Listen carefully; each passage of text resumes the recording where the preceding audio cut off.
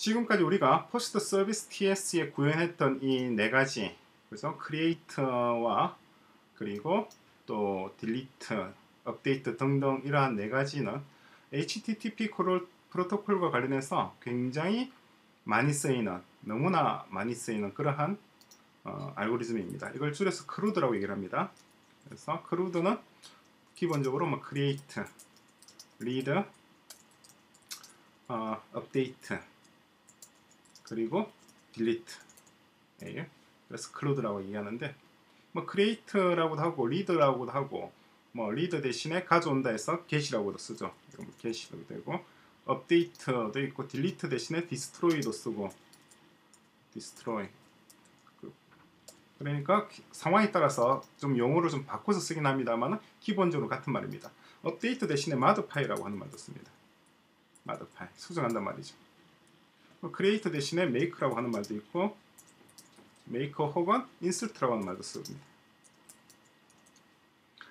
어쨌거나 기본적으로 만들거나 어, 읽거나 정보를 갱신하거나 그 정보를 해당 정보를 제거하거나 하는 건데 이것은 굳이 우리가 지금 쓰고 있는 것은 여기서 포스트 어떤 글을 올린 post 항목 아이템에 대해서만 이렇게 사용 적용을 했습니다만 이건 매우 특수한 경우고 어, 굉장히 일반적으로 많이 쓰입니다. 예를 들어서 아마존 같은 쇼핑몰에서 보시면은 어떤 물건에 대해서 어, 물 상품의 목록을 업데이트하거나 혹은 어, 새로운 상품을 추가하거나 기존 상품을 목록에서 빼거나 destroy 그죠? 혹은 고객들도 관련해서 고객의 정보를 고객을 추가하거나 리뷰가 있으면 리뷰를 추가하거나 제거하거나 장바구니에 있으면은 장바구니에 상품을 추가하거나 빼거나 등등 이런 쇼핑몰 하나만 하더라도 이런 CRUD 메커니즘이 적용되는 분야가 수백 군데가 됩니다.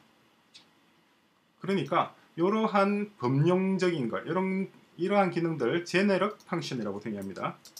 generic function. 여기서 기능이란 말이에요. 함수란 뜻이 아니라. 혹은 그냥 generic, generic 어, 서비스라고 얘기하죠. 이러한 것들은 이렇게 post라고 하는 특정한 항목에다 담아두는 것이 아니라 일반적으로 별도의 어, 서비스 항목으로 뽑아서 그런 다음에 이 post나 뭐 상품 product나 뭐 고객 customer나 필요할 때마다 거기서 뽑아서 쓰는 것이 일반적인 방식입니다. 지금 이번 에피소드에서는 그 방식을 같이 한번 살펴보도록 하겠습니다.